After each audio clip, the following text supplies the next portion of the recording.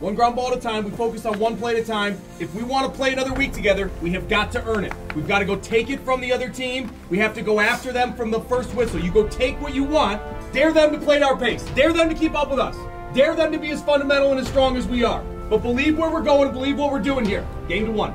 Oh yeah. Let's go! Let's go! Let's go! Here's Degnan. He fires and scores.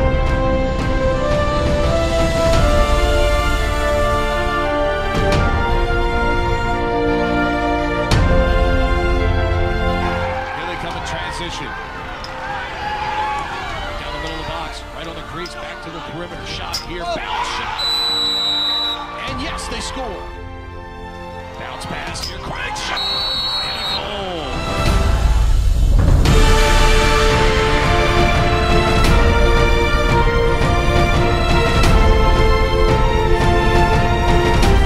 And a in transition.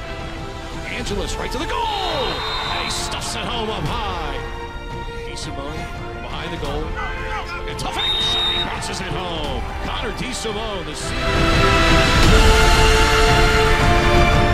DeSimone. DeSimone with 10. Get a crank shot away here. Joey Epstein. Andrews finds Degnan. Another long-range bomb.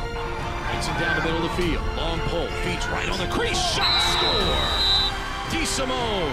Shot clock at 10. Williams. Oh, beautiful physical move. He comes in and scores. Cole Williams.